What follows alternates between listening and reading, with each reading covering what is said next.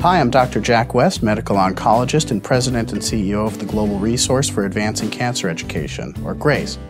A transcript as well as a PDF file with copies of figures associated with this program are available at www.cancergrace.org forward slash gracecasts. I'm here today with Dr. Eric Vallières, a thoracic surgeon who is the surgical director of the lung cancer program at Swedish Cancer Institute in Seattle, and he's also among the worldwide leaders in the concept of integrating chemotherapy and other systemic whole body therapies with the surgical approach for early stage patients. Thanks for joining us today. Thank you, Jack. Turning to the business of surgery for lung cancer, who's most commonly doing it? Are more patients with lung cancer undergoing surgery by a specifically trained thoracic surgeon?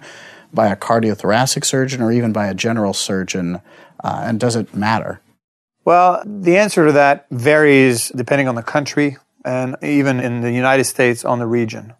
And there has been a gradual shift into having lung cancer surgery being done by non cardiac thoracic surgeons. Individuals who are trained in thoracic surgery don't do heart surgery, but their focus is on the non cardiac aspect of thoracic surgery.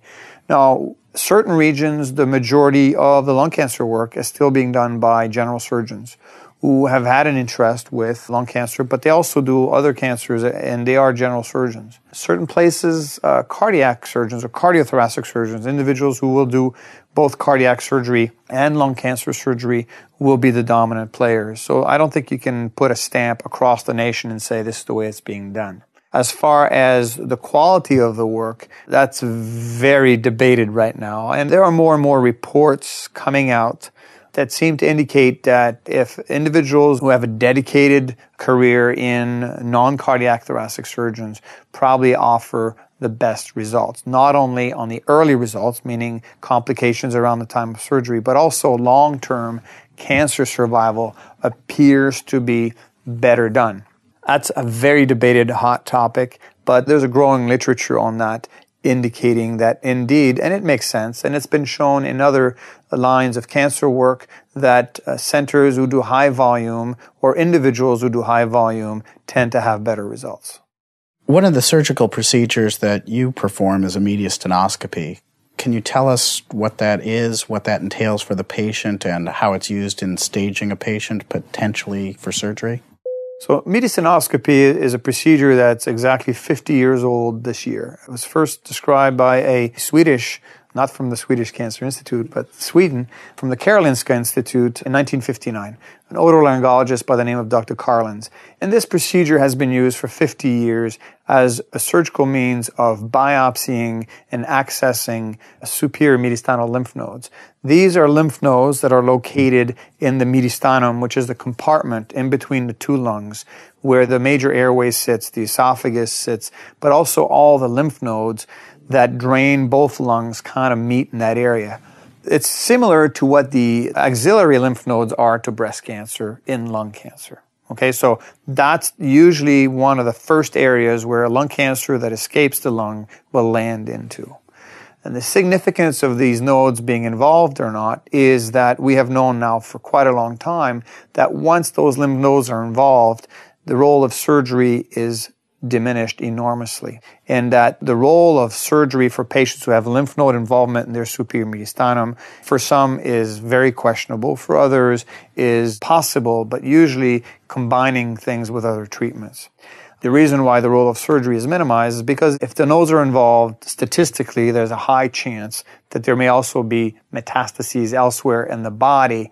And that's the reason why, for most patients, surgery alone does not help them. And we've known that for a long time. So for many, the status of these lymph nodes is a key factor in determining is this a patient that should go to surgery first, or is this someone that should not have surgery at all, or is this someone that should have surgery as part of a combined approach where there'll be also be some chemo and radiation therapy involved in their treatment. So that has been historically the way of doing this. For the patients, this is a day procedure. You don't have to stay in the hospital after you've had that done. It's done under an anesthetic, general anesthetic, so you're asleep. It's a small incision, about uh, two centimeters, maybe an inch wide at the base of the neck. And this way we can access the superior mediastinum, which is behind the breastplate. And we do that with a hollow instrument that has a light at the end, and we can find those lymph nodes and biopsy them, give them to the pathologist, who then will analyze and see whether the lymph nodes are normal or involved with cancer. That has been and still is the gold standard way of assessing lymph nodes in the mediastinum. Is mediastinoscopy widely available? It should be widely available. A lot of surgeons who are not high volume lung cancer surgeons still fear that operation and they just don't do it because they don't feel comfortable doing it. But that I think should be less and less of an issue. Today we do video mediastinoscopy. It's the same instrument, but instead of looking down a little keyhole, you now have a big picture on the TV screen, which makes it, in my opinion, a lot safer. You can see things a lot better. That operation should be available. Now, if you're in the middle of nowhere and there's not a high volume thoracic surgeon 200 miles away from where you live, you may not find someone in your area that's going to have access to this operation. But in 2009, most places you'll find there should be someone close by who can offer you this operation. I think I'd heard also that in the US at least, an enormous proportion of the population lives within an hour of a board certified thoracic surgeon. Board certified cardiothoracic surgeon, that is right. Now, a lot of these individuals are predominantly cardiac surgeons and may not be as comfortable in doing mediastinoscopy. But you're right. An hour driving across this country, you can find a certified cardiothoracic surgeon. Whether or not that individual has maintained an expertise in lung cancer work or whether that individual has done mainly cardiac surgery over the years, that may be different. Over the last decade, we've seen PET scans become universally incorporated into staging for potentially early stage non small cell lung cancer. Does PET scanning obviate the need for mediastinoscopies in some or many patients? I think it does in a proportion of patients, and for some surgeons, that proportion is larger than others, debated in meetings constantly. I think the one thing we've learned with PET scan over the last 10 years is it's not perfect. It'll miss the fact that sometimes some lymph nodes are involved. And also it will tell you that lymph nodes are involved when they're not involved. So I think over the last 10 years, this test that when it came out was supposed to be perfect for lymph node evaluation, we realize is not. Now, statistically, if you have a small little cancer way out at the periphery of the lung that's not very PET active, and if your lymph nodes are totally normal on PET scan, the odds that you would find something at mediastinoscopy are really, really low. However, if you have a tumor that's more central or larger or quite hot on PET scan, even if the lymph nodes are negative on your PET scan, statistically, there is now a higher risk that your lymph node may still be involved. And these are the patients where we still mandate mediastinoscopy. Another technique that is just starting to become more widely available is endobronchial ultrasound, or EBUS. Could this less invasive technique serve as a substitute for mediastinoscopy? I think EBUS is a great technology. I think it will replace mediastinoscopy in certain scenarios and situations. However, right now the literature on EBUS is very limited, as mainly comes out of three centers in the world. And whether or not the test is going to be as accurate and as good as it's been reported from these three centers once everyone starts doing it remains to be seen. However, it's less invasive than mediastinoscopy. There's no incision involved, so it's a bronchoscopy basically with a special tool. If EBUS biopsies a node and that node is positive, then you have your information. But if clinically you suspect that the lymph nodes are involved and you do an EBUS and the nodes are negative, you need to do a mediastinoscopy to confirm indeed that the EBUS was right. So if clinically you suspect that the nodes are involved and the EBUS is negative, these patients still need to have mediastinoscopy assessment. So right now, it's a complement to exactly where that test will fit in the algorithm of working up patients with lung cancer remains to be seen. And I think that before a center adopts a rigid strategy with the use of EBUS and mediastinoscopy, they need to interrogate their own data and see how good are they in sorting out things by this test. It may be that eventually it'll replace the majority of the mediastinoscopies that we do, and it may not, but we need to see more data. Besides the things we've mentioned, what does the rest of a preoperative workup for a lung cancer patient involve? Well, the first as a complement to what we've talked about, we've talked about the PET scan, we've talked about mediastinal staging by EBUS or mediastinoscopy. Basically, in the first question is, should these patients be offered surgery? And that's what these tests are asking. There are patients in whom you also want to take a look at their brain before surgery because PET scan does not look at the brain. And there is definitely a group of patients, predominantly patients with adenocarcinoma histology of significant size that may have clinically silent brain metastases. So I think the role of brain imaging has to be individualized in asymptomatic patients. And that's a test that we order often in patients who believe at high risk, even though the PET scan looks good. That aside, the other category of testing that we need to do on those patients is assess whether or not they are fit enough, whether or not they have enough cardiac and pulmonary reserves to undergo losing part of their lung to the surgeon. So that's done mainly with pulmonary function tests or exercise testing where we measure individuals' lung capacities and flows and volumes, and we have an idea of how safe it is to take these individuals through surgery and how much lung we can remove for them to not only survive surgery, but to have a good quality of life, breathing life beyond surgery. A lot of the patients have smoked for many years. That's what led them to have their lung cancer. Well, that also puts their heart at risk of having coronary disease. Now, someone who is not very active may not be challenging their heart the way we would be challenging their heart at the time of surgery. So, in those patients, we may want to also put them through some cardiac stress test before surgery.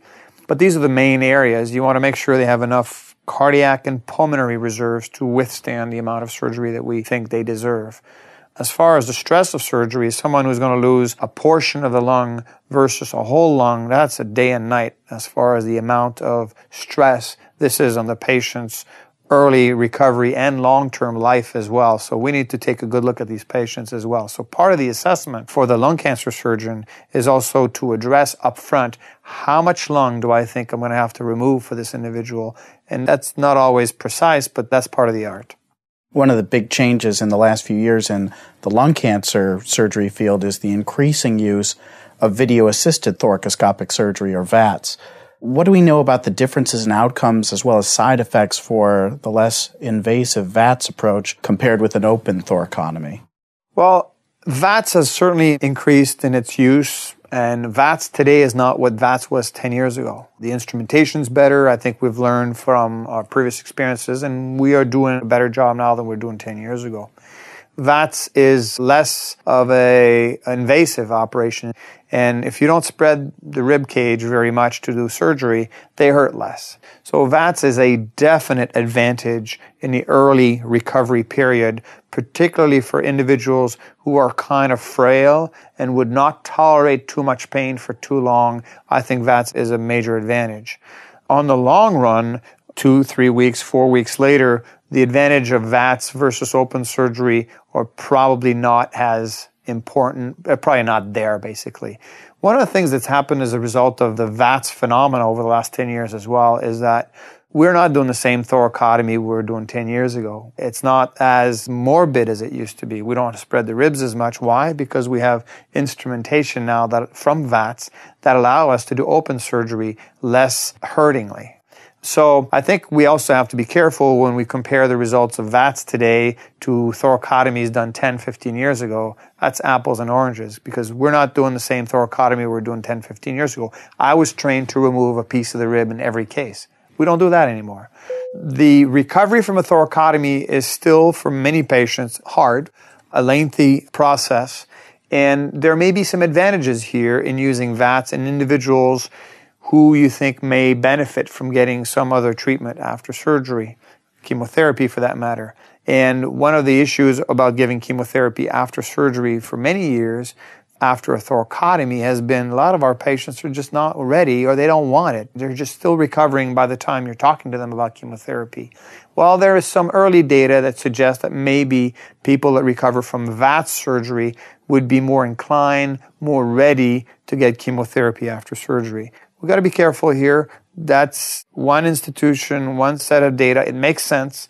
It's a good argument, but I think we're still early on this. One little caveat about VATS, however, is not everyone who does VATS lung cancer surgery replicates the operation that they would do if it was open surgery. And that's one of the dangers of minimally invasive surgery is you kind of cut the corners to be able to do it that way. And if you do, don't do it. You should do by VATS the exact same operation you would do if you were doing open thoracotomy. Otherwise, you shouldn't be doing it. Some people have also asked about robotic lung surgery. Does that offer any clear advantage over a more conventional VATS or thoracotomy? No, there's no evidence at this stage of the game with the robotic technology that we have that it doesn't seem to be offering big advantages over the VATS approach. The truth is we're still using some of the VATS instrumentation and staplers when we're doing robotic surgery. So it really hasn't caught on yet. But the technology is changing, and there may be in the very near future a place for robotics to take over VATS and all open surgery as well. In the thoracic cavity, we are a little disadvantaged in that we cannot inflate the thoracic cavity and make it bigger and give us room to work with these instruments. We're in a rigid cavity. We can't make it bigger like they do in the abdomen, for example. So that may have slowed down how fast we've adopted these technologies in comparing to the belly surgeons. But we're getting there and the technology is better and we may go there. Robotics remains to be seen. Can you tell us about the differences among the different types of lung surgery, such as a lobectomy, a pneumonectomy, a segmentectomy, and a wedge resection? Well, in order, the smallest amount of lung that you take out is a wedge resection, and then the next larger amount is a segmentectomy, and then a lobectomy, and then on the right side, a bilobectomy, and then a pneumonectomy. Pneumonectomy means the whole lung is coming out. Lobectomies are the standard, and that's based on data that's about 25 years old now, but which has shown at least in the population of patients we operated on 25 years ago, that a lobectomy was a superior operation than a segmentectomy or a wedge resection. After four or five years of follow up, lobectomy patients deemed better. Less cancer came back, their survival was better. So, lobectomy is a standard. There are three lobes on the right, two on the left. So, these are the five lobectomies that you can do. Not every tumor is amenable to a lobectomy. If a tumor is straddling two lobes, then both lobes may have to go. On the left side, that means the whole lung has to go. The lung is like a tree. So if you have a little tumor at the end of the branch, you just take out that branch, you're okay. The same little tumor is near the main trunk, then the whole tree may have to go. So sometimes it's not just the size of the lesion that dictates how much lung you remove, but where it's at in the tree. A wedge resection, which is the littlest amount of lung that you remove, is basically like taking a piece in the pie. Just a, usually a V shape or U shape where you don't follow any anatomical lines and you just take out the tumor with a rim of hopefully uninvolved lung around it and you take out the cancer. It is the surgery that is probably easiest for the patients to recover from. It is also the one where there's littlest amount of lung removed, so should have least impact on the breathing beyond surgery, but it is a compromised cancer surgery. The segmentectomy, which is the next one up the line, is more of an anatomical removal of the tumor in the segment of lung in which it's in. Each lobe has a determined number of segments. The right upper lobe, for example, has three segments. Well, if you have a small tumor in one of the segments, maybe taking out just one segment instead of the whole lobe can provide good cancer care. So you take out a little more lung than you would in a wedge, but less than you would in a lobectomy. In general, in a healthy young individual, each segment contributes about 5% of their breathing capacity. That's kind of the rule. So if you take a segment instead of a whole lobe, uh, comparing to the right upper lobe, you're taking out 5% of their breathing versus 15%. So that may be a compromised operation for patients who have cannot afford to lose too much lung. It may also be a very good operation, however, for little tumors. Little tumors that we see today in 2009 that we were not seeing 25 years ago because imaging was not as good. And 25 years ago, when they compared a lobectomy to segment or wedges, majority of the tumors that were in that study were more than two centimeters in size. Today, we're often asked to do surgery on someone that has a cancer that's a centimeter or even less in size. And there's a question that maybe a segmentectomy for those individuals is a very good cancer operation, but we don't have the data to support that yet. In fact, there is an ongoing North American trial which is trying to answer this question where patients with little tumors, less than two centimeters in size, if the tumor is well located to allow segmentectomy, where we're going to again compare segmentectomy to lobectomy for the little tumors. Repeat the study that was done 25 years ago, but with smaller tumors. So segmentectomy, I don't think is that bad of an operation for the right patients. The standard of care in 2009, however, remains a lobectomy as long as all the cancer can be removed that way. In Asia, they have a lot of patients who are found to have small bronchiolo-alveolar carcinomas or BACs that often have a very good prognosis and rarely involve lymph nodes or distant spread. And there's a greater use of smaller surgeries like wedge resections and segmentectomies. It seems to me that they're kind of leading the movement toward that. Would you consider that an appropriate approach? Or if somebody came back from Asia with a sublobectomy surgery, would you recommend a completion lobectomy? I think we have to be careful. First of all, the lung cancer that they see in mainly Japan, that's where most of that data is from, is not the same lung cancer that we see here. It may look the same under the microscope, but we're understanding more and more that biologically these are different malignancies. The typical, well differentiated bronchiolo-alveolar carcinoma that you allude to, we do see here in North America, but not as frequently as they see it out there. So the number of patients that we see here that could potentially benefit from these lesser surgeries purely based on the good, favorable histology, we're just not seeing as many as they are. The majority of the patients that we see here, that we operate here, that have a bronchiolo-alveolar carcinoma to their malignancy, also have an invasive adenocarcinoma as part of that disease. That's not what these surgeons in Japan are operating on by doing wedges. They're operating on pure BACs, and we see some here, but they're not that common. So I think that if someone had gone to Japan and had a pure BAC and had been treated that way, I'd be fine. I wouldn't reoperate on them. In fact, the few patients that we've seen here, this is an approach we've also considered, but we see very few patients who have the, there's a pathologist in Japan called Noguchi who's studied that. And he's put five groups. And the groups A and B are the ones you describe. They don't spread. There's no node involvement, and these are the patients that you can get away by doing less surgery. But once you're a C, D, or an E, these patients have nodal disease and that you need to do more surgery. What we see in North America tends to be more of the C, D, and E variety. The median age for a new diagnosis of lung cancer in the United States today is a little over 70. What are some of the particular challenges of lung surgery in older patients, and do you approach them differently? Well, it's not really their chronological age that determines how we do things. It's more their physiological age. If you have an 85 year old gentleman who skis three times a week, that patient, you look at him the way you would a 60 year old. Okay. Uh, similarly, you have 60 year olds who've had a tough life and they come to you and they look more like 80. So I think age alone is not the factor. It's more their physiological age. But the older folks tend to have more comorbidities. They may have some heart issues. They may have some kidney problems.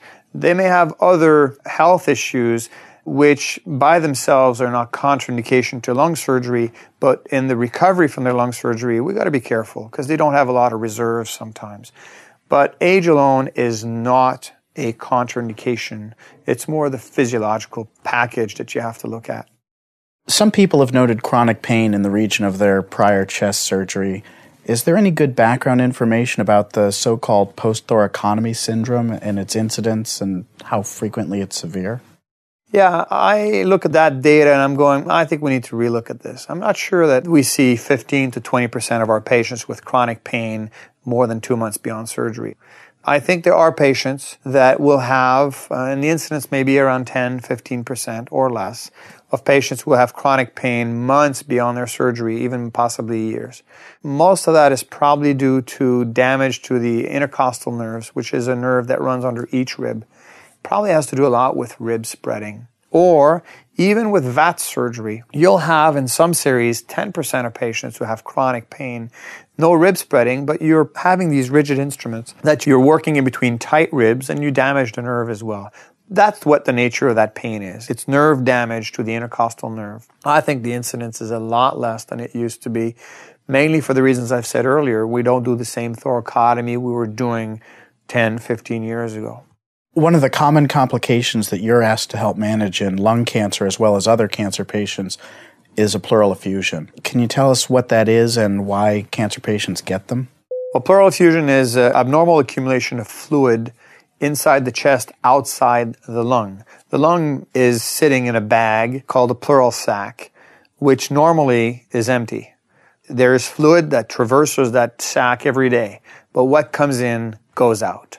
And there are many pathological processes where that balance of what goes in, what comes out is disturbed and fluid starts accumulating in the bag. And because the cavity, the chest cavity is rigid, it means it accumulates inside and the lungs get squished. And that's how these people present. Their lung is squished or they're short of breath or they have pressure in their chest or they're coughing because their lung cannot expand fully and so on. So that's what pleural effusion is. In cancer, one of the ways that lung cancer will present itself is by pleural effusion, by having fluid around their lung. Usually due to the fact that the cancer has spread to the lining of the lung or of the rib cage, which and the presence of cancer in that membrane disturbs that balance, what goes in, what comes out. So now fluid starts accumulating inside. The presence of a pleural effusion in association with a lung cancer that otherwise appears to be operable is a serious issue and needs to be worked up to make sure that there's no other reason for that fluid to be there besides cancer. Because if it's cancerous, surgery is out of the question. But if it's not cancerous, maybe surgery can still be offered. And there has been some work done in Japan, mostly looking at surgery after treatment, say, for a pleural effusion, that has not looked favorable enough to be adopted routinely. Correct. There's very little literature on that. There's a surgeon in Japan. There's also a group at the Brigham in Boston that looked at this. And obviously, the surgery is a lot bigger of an operation. Not only do you have to remove the whole lung, but you have to remove all the lining where those cancer cells were before. And that's called an extrapleural pneumonectomy. And the uh, results from that, both from the Boston experience and the Japanese experience, is that very, very few patients benefit from that approach. So in general, if you've had a pleural effusion involved with cancer, whatever your response to therapy may have been, surgery is not in the books. What are the leading options for managing a recurrent pleural effusion? There's two scenarios. If you have a pleural effusion that is asymptomatic, patient is otherwise managing quite well, you can leave it alone because as far as surgeons are concerned and intervention in a pulmonologist, what we treat is not the effusion, we treat the symptoms of the patient. It's a palliative intervention when we tackle effusions. So, someone has symptoms, the first question to ask is if you take out the fluid, does the symptom go away? Because there may be patients, they have a large effusion, they're short of breath. You take out all the fluid, they're still short of breath. It's not worth chasing the effusion. So a patient, large effusion, symptoms, you drain the effusion, symptoms go away. The next question is, does the lung re-expand? If the lung re-expands significantly, then there are things that you can do to try to sclerose or glue, if you want, the lung against the ribs so that the fluid can't come back. And that's called sclerosis or pleurodesis. And we can use talcum powder, betadine, hypertonic glucose. There are solutions that can be used. But that only will work if the lung re-expands. Another option is not to try to sclerose them with chemicals, but use a PleurX catheter, which is kind of a newish device. It's a catheter that comes out of the skin, a soft catheter, very comfortable, doesn't bother patients very much. And what happens is that every day or two, patients hook their catheter to a vacuumed bottle and they drain themselves at home of that effusion. Any procedure, anything that we do for these folks, however, is a palliative procedure is to try to prevent the fluid from coming back so that these symptoms don't come back. That's it. That's the only role that we can play for these individuals. Has there been much of a problem with infections with the PleurX catheters? Not really, actually. And it's not a technology that's unique to PleurX catheters. That technology has been used for a long time for peritoneal dialysis catheters and other lines where there's a cuff. It's a tunneled catheter. It doesn't go straight into the chest. There's a long tunnel, a skin, subcutaneous tunnel, and there's a cuff around the catheter. And for some reason, infection is not being a big issue. Eric, thanks very much for taking the time to speak with us today. Really appreciate it. Thank you, Jack.